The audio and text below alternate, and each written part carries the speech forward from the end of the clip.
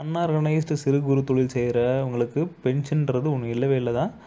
Central government ஸ்டாஃபோ இல்லை state government ஸ்டாஃபோ ஆர்கனைஸ் செக்டாரில் பிஎஃப் பிடிக்கிறவங்களுக்கு இபிஎஸ்ன்ற பேரில் பென்ஷன்றது ஒன்று கிடைக்குது. ஆனால் அன்ஆர்கனைஸ்டுக்கு பென்ஷன்றது ஒன்று இல்லவே இல்லை. ஸோ அவங்களுக்காக உருவாக்கப்பட்ட ஸ்கீம் பேர் தான் அட்டல் பென்ஷன் ஸ்கீம். இது ரெண்டாயிரத்தி பாஞ்சில் இன்ட்ரடியூஸ் பண்ணப்பட்டது. இது கண்டிஷன் பார்க்கும்போது பதினெட்டு வயசு நிரம்பிய எனி இந்தியன் சிட்டிசன் எந்த ஸ்கீம் அதாவது சோஷியல் செக்யூரிட்டி ஸ்கீம் பென்ஷன்ற பேரில் எந்த ஸ்கீம்லும் இல்லாதவங்க இந்த ஸ்கீமில் ஆட் பண்ணிக்கலாம் அப்படின்றது தான் இது ஒன்லி எலிஜிபிலிட்டி இந்த ஸ்கீமை பற்றி முழுசாக பார்ப்போம். இதுக்கு முன்னாடி நீங்கள் ஏதாவது அட்டல் பென்ஷன் ஸ்கீம் பற்றி வீடியோ பார்த்துருந்தாலும் இந்த வீடியோவில் நீங்கள் பார்க்க போகிற விஷயன்றது ஒரு டேட்டாவாக என்ன பென்ஷன் கொடுக்க போகிறாங்க அது உண்மையாலுமே நமக்கு பொறுத்தா அப்படின்ற எல்லாத்தையும் முழுசாக பார்க்கலாம்.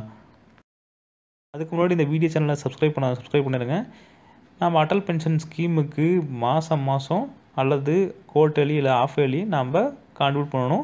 இந்த கான்ட்ரிபியூஷன் அமௌண்ட்ன்றது எதன் அடிப்படையில் அமையுது அப்படின்னு பார்க்கும்போது ஆயிரம் ரெண்டாயிரம் மூவாயிரம் நாலாயிரம் ஐயாயிரம் அப்படின்ற அஞ்சு டைப் ஆஃப் பென்ஷன் இருக்குது இந்த அஞ்சு டைப்பில் நமக்கு எந்த அமௌண்ட் வேணுமோ அந்த அமௌண்ட்டை சூஸ் பண்ணிவிட்டு நம்ம எந்த வருஷத்துலேருந்து கான்ட்ரிபியூட் பண்ண ஆரம்பிக்கிறோம் அப்படின்ற அடிப்படையில் அந்த கான்ட்ரிபியூஷன் அமௌண்ட்ன்றது மாறுபடும். இந்த ஸ்கீமை யார் வாங்கலாம்னா எனி இந்தியன் சிட்டிசன் வாங்கலாம். எந்த ஏஜுக்குள்ளேனா பதினெட்டு வருஷத்துலேருந்து நாற்பது வருஷத்துக்குள்ளே யார் வேணால் இந்த ஸ்கீமை வாங்கலாம். எப்போ பென்ஷன் எலிஜிபிள் ஆவாங்கன்னா அறுபது வருஷத்தை முடிச்சதுக்கப்புறம் அதாவது கண்டிப்பாக இருபது வருஷம் கண்டிப்பாக பே பண்ணியிருந்துருக்கணும். இதுக்கு எலிஜிபிலிட்டின்னு பார்க்கும்போது கண்டிப்பாக ஒருத்தர் சேவிங்ஸ் அக்கௌண்ட் வச்சுருக்கவங்க மட்டும்தான் இந்த ஸ்கீம் வாங்க முடியும். ஆதாரும் ஃபோனும் அதாவது ஆதார் கூட ஃபோன் நம்பர் வந்து லிங்க் ஆகிருக்கவங்க இதை வாங்கிக்கலாம். இதை ரெகுலேட் பண்ணுறது யாருன்னு பார்க்கும்போது என்பிஎஸ் நேஷ்னல் பென்ஷன் ஸ்கீம் யார் ரெகுலேட் பண்ணுறாங்களோ அவங்களே தான் இதை ரெகுலேட் பண்ணுறாங்க பிஎஃப்ஆர்டிஏ பிஎஃப்ஆர்டிஏ அப்படின்றது pension fund regulatory and development அத்தாரிட்டின்னு சொல்லுவாங்க. இது ப்ரான் நம்பர் அப்படின்றத உங்களுக்கு கொடுத்துருவாங்க. அதாவது பர்மனண்ட் ரிட்டையர்மெண்ட் அக்கௌண்ட் நம்பர்ன்றது உங்களுக்கு கொடுத்துருவாங்க. அது கொடுத்துட்டாங்கன்னா அந்த அக்கௌண்ட்டில் தான் எல்லா டீட்டெயில்ஸ் நீங்கள் கான்ட்ரிபியூட் பண்ணுற அத்தனை டீட்டெயில்ஸும் போய் ஸ்டோர் ஆகும். இதுக்கு இம்பார்ட்டனாக நம்ம முன்ன சொன்ன மாதிரி எந்த சோஷியல் செக்யூரிட்டி பெனிஃபிஷரி ஸ்கீம்லேயும் நீங்கள் இருக்கக்கூடாது. நீங்கள் கான்ட்ரிபியூட் பண்ணுற அமௌண்ட்ன்றது மேக்ஸிமம் ஃபிஃப்டி தௌசண்ட் வரைக்கும் எயிட்டி சிசிடி செக்ஷனில் டேக்ஸ் பெனிஃபிட் கொண்டது. அக்கௌண்ட் ஓப்பனிங்கிறது எந்த சேவிங்ஸ் அக்கௌண்ட் வச்சுருக்கீங்க? பப்ளிக் பேங்க்லேயோ இல்லை ப்ரைவேட் பேங்க்லேயோ நீங்கள் இல்லை போஸ்ட் ஆஃபீஸ்லேயோ கூட இதை ஓப்பன் பண்ணிக்கலாம். டெபிட் டைப்புன்றது மந்த்லி குவார்ட்டர்லி ஆஃப் அலி அப்படின்றத நீங்கள் சூஸ் பண்ணிக்கலாம். டியூ டேட்ன்றது மந்த்லின்னு சூஸ் பண்ணால் அதோட ஃபஸ்ட்டு டேட்டும் குவார்டர்லினா அந்த குவார்டரோட ஃபஸ்ட் டேட்டும் ஹாஃப் இயர்லினா அதோட ஃபஸ்ட்டு டேட்டும் அமௌண்ட்டு சேஞ்சையும் டெபிட் டைப் சேஞ்சையும் பண்ணிக்கலாம். அதாவது ஆயிரரூபா பென்ஷன்றதை நான் ஐயாயிரரூபா பென்ஷன் கூட மாற்றிக்கலாம் அதுக்கு நீங்கள் எங்கள் அக்கௌண்ட் ஓப்பன் பண்ணீங்களோ அந்த பேங்க்கை அணுகி அதுக்கு உண்டான சார்ஜஸை பே பண்ணி நீங்கள் மாற்றிக்கலாம் அண்ட் தென் மந்த்லியே ஆஃப் இயர்லியும் ஆஃப் இயர்லியே மந்த்லியாக கூட மாற்றிக்கலாம் டியூ அப்போ உங்கள் அக்கௌண்ட்டில் பணம் இல்லாத போது ஓவர் டியூ இன்ட்ரெஸ்ட்டாக நூறுரூபாய்க்கு ஒரு ரூபா அதாவது நீங்கள் கட்ட வேண்டிய தொகை நூறுரூபானா ஒரு ரூபா ஓவர் டியூ இன்ட்ரெஸ்ட்டாக பிடிப்பாங்க. நீங்கள் ஆறு மாதம் அக்கௌண்ட்டை மெயின்டைன் பண்ணல அதாவது டியூ பே பண்ணலன்னா அக்கௌண்ட் ஃப்ரீஸ் பண்ணிடுவாங்க பன்னெண்டு மாதம் பண்ணலைன்னா டீஆக்டிவேஷன் பண்ணிடுவாங்க இருபத்தி நாலு மாதம் பண்ணலன்னா அக்கௌண்ட்டை க்ளோஸ் பண்ணிடுவாங்க நாமினேஷன் ஃபெசிலிட்டின்றது இருக்குது மேரேஜ் ஆனவங்க அப்படின்னா டிஃபால்ட்டாக அவங்களோட ஒய்ஃப் வந்துடுவாங்க மேரேஜ் ஆகாதவங்க அவங்க இஷ்டத்துக்கு நாமினேஷன் பண்ணிக்கலாம். அக்கௌண்ட்ன்றது ஒரு அக்கௌண்ட் ஒருத்தருக்கு ஒரு அக்கௌண்ட் தான் க்ரியேட் பண்ண முடியும்.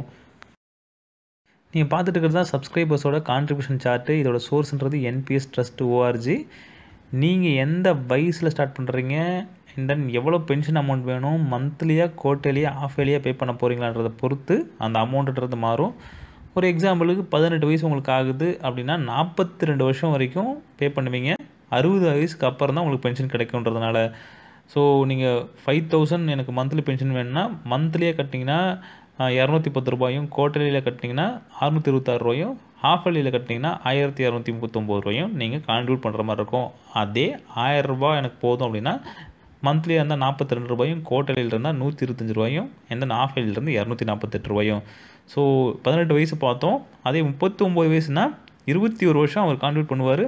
எனக்கு ஆயிரரூபா பென்ஷன் போதுன்னா இரநூத்தி அறுபத்தி நாலு ரூபா மந்த்லியும் அண்ட் தென் குவார்ட்டர்லின்னா எழுநூற்றி எண்பத்தி ஏழு ரூபாயும் ஹாஃப் இயர்லியில் ஆயிரத்தி ஐநூற்றி ஐம்பத்தெட்டு ரூபாயும் பே பண்ணுற மாதிரி இருக்கும். இதே ஐயாயிரரூபா வேணும்னு கேட்டார்னா மந்த்லி ஆயிரத்தி முந்நூற்றி பதினெட்டு ரூபா அண்ட் தென் குவார்ட்டர்லியில் மூவாயிரத்தி தொள்ளாயிரத்தி இருபத்தெட்டு ரூபா அண்ட் தென் ஹாஃப் இயர்லியில் ஏழாயிரத்தி எழுநூற்றி எழுபத்தெட்டு ரூபா பே பண்ணணும். அறுபது வயசுக்கு அப்புறம் மாதம் மாதம் பென்ஷனாக கிடச்சிரும். ஆனால் அறுபது வயசுக்கு அப்புறம் இறந்தாருன்னா என்ன பென்ஷனாக வாங்கிட்டு இருந்தாரோ அது அப்படியே அவரோட ஸ்பௌஸுக்கு போயிடும் ஸ்பௌஸ் இறந்துட்டாங்கன்னா அறுபது வயசு வரைக்கும் என்ன அமௌண்ட்டு ஜெனரேட் பண்ணாரோ அந்த அமௌண்ட்டோட இன்ட்ரெஸ்ட்டோட அந்த நாமினிக்கு பே பண்ணிடுவாங்க. பென்ஷன் கொடுக்க மாட்டாங்க. அண்ட் தென் அறுபது வயசுக்கு முன்னாடி எனக்கு அந்த அமௌண்ட் வேணும்னு கேட்டிங்கன்னா ரெண்டு விஷயத்துக்கு மட்டும் தான் கொடுப்பாங்க. அந்த யார் அமௌண்ட் அந்த பே பண்ணாங்களோ அவர் டெத் ஆனாலோ அல்லது டெர்மினல் டிசீஸ் வந்தாலோ அந்த அமௌண்ட்டை ரீபே பண்ணிடுவாங்க. என்ன இன்ட்ரெஸ்ட் அக்குமுலேட் பண்ணாங்களோ அந்த கொடுத்துருவாங்க. ஆனால் அறுபது வயசுக்கு முன்னாடி இறக்க இருக்கும்போது போது பென்ஷன் எதுவும் கிடைக்காது. ஒன்ஸ் அறுபது ரீச் பண்ணதுக்கப்புறம் தான் பென்ஷன் கிடைக்கும். இப்போ அறுபது வயசுக்கு முன்னாடி இறக்கும்போது அவரோட ஸ்பௌஸுக்கு ஒரு ஆப்பர்ச்சுனிட்டி கொடுப்பாங்க. என்ன ஆப்பர்ச்சுனிட்டினா நீங்கள் மிச்ச காலத்தை நீங்கள் கட்டி கூட நீங்கள் பென்ஷன் வாங்கிக்கலாம். இல்லை அந்த அமௌண்ட்டை கூட மொத்தமாக வாங்கிக்கலாம் அப்படின்ற ஆப்ஷன் கொடுப்பாங்க. ஸ்கீமை வாங்கினவர் இறந்துட்டார். அப்புறம் அவரோட ஸ்பௌஸும் இறந்துட்டாங்க அப்படின்ற போது அறுபது வயசு வரைக்கும் என்ன அமௌண்ட் அக்குமுலேட் பண்ணாங்களோ அது இன்ட்ரெஸ்ட் ரேட்டாக ஒரு கேரண்டட் அமௌண்ட் கொடுக்குறாங்க. ஆயிரரூபா அப்படின்னு பென்ஷன் சூஸ் பண்ணாங்க அப்படின்னா ஒன்று புள்ளி ஏழு லட்ச ரூபா கொடுக்குறாங்க. ரெண்டாயிரரூபான்னு சூஸ் பண்ணும்போது மூணு புள்ளி நாலு லட்சம் மூணாயிரரூபான்ற போது அஞ்சு புள்ளி ஒரு லட்சம் நாலாயிரம் அப்படின்ற போது ஆறு புள்ளி எட்டு லட்சம் ஐயாயிரம் அப்படின்னு சூஸ் பண்ணும்போது எட்டு புள்ளி அஞ்சு லட்சம் கேரண்டீடு அமௌண்ட்டு அந்த நாமினிக்கு போய் சேரும். இப்போ இந்த ஸ்கீமோட ப்ளஸ் பாயிண்ட்ஸ் பார்ப்போம். இந்த ஸ்கீமோட பெரிய ப்ளஸ் பாயிண்ட்டு இந்த அன்ஆர்கனைஸ்டு செக்டரை கவர் பண்ணுறது தான் பென்ஷன் பற்றின விழிப்புணர்வும் அண்ட் தென் பென்ஷனை கவர்மெண்ட் சைடில் கான்ட்ரிபியூட் பண்ணுற அளவுக்கு போதியமான ஸ்கீம் இல்லாத நிலமையில் இந்த ஸ்கீம் உருவாக்கப்பட்டது. பெரிய விஷயந்தான் அண்ட் ரிட்டர்ன் ஆஃப் கார்பஸ் அறுபது வயசுக்கு முன்னாடி டெர்மினல் இல்னஸ் வரும்போது கார்பஸ் ரிட்டர்ன் பண்ணுறாங்க இதுவும் அடுத்த ப்ளஸ் பாயிண்ட்ஸ் அண்ட் தென் அறுபது வயசுக்கு அப்புறம் யார் கான்ட்ரிபியூட் பண்ணாரோ அவரும் அண்ட் தென் அவர் ஸ்பௌஸும் இறக்கும்போது கேரண்டீட் அமௌண்ட்டாக ஒன்று ரிட்டர்ன் பண்ணுறாங்க இதுவும் பெரிய விஷயந்தான் அண்ட் தென் நீங்கள் எந்த அமௌண்ட் என்ன இயரில் சூஸ் பண்ணி போட்டிருந்தாலும் ரிட்டர்ன் ஆஃப் கேரண்டீடை வச்சு நீங்கள் கால்குலேட் பண்ணும்போது எயிட் பர்சன்ட் ரிட்டர்ன் கண்டிப்பாக கொடுக்குறாங்க. எயிட் பர்சன்ட் ரிட்டர்ன்றதும் நல்ல விஷயந்தான் அடுத்தது மைனஸ் பாயிண்ட்ஸ் சிக்ஸ்டி இயர்ஸ்க்கு அப்புறம் தான் பென்ஷன்றது பெரிய மைனஸ் பாயிண்ட் ஏன்னா நீங்கள் இபிஎஃப்லாம் பார்க்கும்போது ஐம்பத்தெட்டு வருஷம்னு சொன்னாலுமே ரெடியூஸ்டு பென்ஷன் அதாவது நீங்கள் ஐம்பது வருஷத்துலேருந்து கூட பென்ஷன் வாங்கிக்கலாம் அப்படின்ற ஆப்ஷன்ஸ்லாம் கொடுக்குறாங்க. இங்கே எந்த ஆப்ஷன்ஸும் கிடையாது. அறுபது வருஷம். நார்மலாக அறுபது வருஷத்துன்ற போது இப்போ யாரும் அறுபது வருஷத்து வரைக்கும் வெயிட் பண்ணுறதில்ல அறுபது வருஷம் வரைக்கும் யாரும் ஒர்க் பண்ணுறதில்ல ஸோ இது பெரிய மைனஸ் அண்ட் தென் லாக்இன் அறுபது வருஷமே லாக்இன் தான். நீங்கள் அதுக்கு முன்னாடி அந்த அமௌண்ட்டை எடுக்கவே முடியாது. இல்னஸ் வரணும் இல்லை டெத் வரணும். வேறு எந்த சுச்சுவேஷனுக்கும் இந்த அமௌண்ட் தரமாட்டாங்கன்றது பெரிய மைனஸ் அண்ட் தென் மூணாவது மைனஸ் என்னோடய இன்வெஸ்ட்மெண்ட்டும் அண்ட் தென் என்னோடய பென்ஷன் அப்படின்றத கால்குலேட் பண்ணி அந்த மைனஸை காட்டுறேன். எனக்கு இப்போ இருபத்தெட்டு வயசு ஆகுது எனக்கு ஐயாயிரரூவா பென்ஷன் வேணும். ஐயாயிரரூவா பென்ஷனுக்கு நான் எவ்வளோ கான்ட்ரிபியூட் பண்ணணும்னா ஐயாயிரத்தி எட்நூற்றி இருபது ரூபா நான் முப்பத்தி ரெண்டு வருஷம் கான்ட்ரிபியூட் பண்ணணும். அதாவது அறுபது வருஷம் வரைக்கும். நான் கான்ட்ரிபியூட் பண்ண அமௌண்ட்ன்றது ஒரு லட்சத்தி எண்பத்தி ஆறாயிரத்தி இரநூத்தி நாற்பது ரூபா எட்டு பர்சன்ட் ஆனுவல் ரிட்டர்ன் போகும்போது எட்டரை லட்ச ரூபா கிடைக்குது. இந்த எட்டரை லட்ச ரூபா தான் கொடுக்குறதா சொல்கிறாங்க ஸோ நான் இப்படி தான் எட்டு பர்சன்ட்றதை டிரைவ் பண்ணேன். நான் முப்பத்தி ரெண்டு வருஷத்துக்கு அப்புறம் அந்த ஐயாயிரோட வேல்யூவை நான் பார்க்கணுன்னு நினைக்கிறேன். ஐயாயிரரூவாலேருந்து ரூபா வரைக்கும் ஆறு பர்சன்ட் இன்ஃப்ளேஷன் போட்டால் ஐயாயிரரூவோட மதிப்பு அறுநூத்தி தொண்ணூறுரூவா ஏழு பர்சன்ட் போட்டால் நானூற்றி தொண்ணூறுரூவா எட்டு பர்சன்ட் போட்டால் முந்நூற்றி நாற்பத்தி ஏழு நார்மலாக எட்டு பர்சன்ட் இன்ஃப்ளேஷன் தான் இப்போ நடந்துகிட்ருக்குது கவர்மெண்ட் சைட்ஸில் நாலு அஞ்சுலாம் சொல்லுவாங்க. எட்டு பர்சன்ட் தான் நார்மல் ரேட் இப்போ முப்பத்தி ரெண்டு வருஷம் கழித்து எட்டு பர்சன்ட் இன்ஃப்ளேஷன் அடிப்படையில் நான் ஆயிரரூவா சூஸ் பண்ணால் அறுபத்தி ஒம்பது ரூபா கொடுக்குறாங்க.